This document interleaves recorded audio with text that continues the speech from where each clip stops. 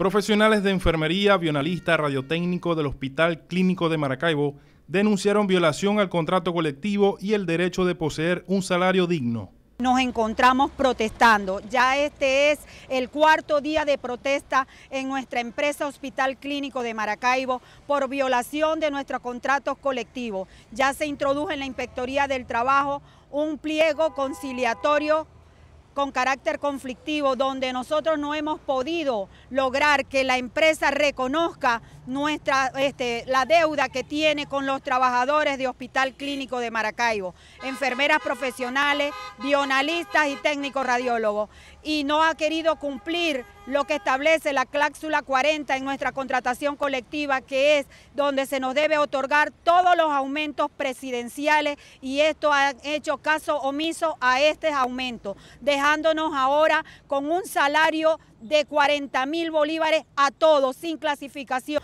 No puede ser, no podemos vivir con este salario. Les solicitamos, nos están dando un aumento, solamente nos deben 250% de aumento presidencial, donde solamente la empresa nos está ofertando un 26% y no se lo podemos aceptar.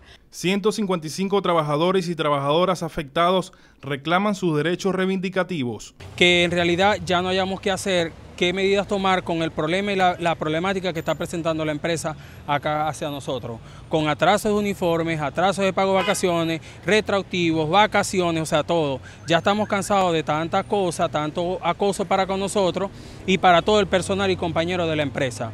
Trabajadores del Hospital Clínico de Maracaibo se mantendrán en protesta por sus derechos salariales. Daniel Reynoso, Informativo Popular.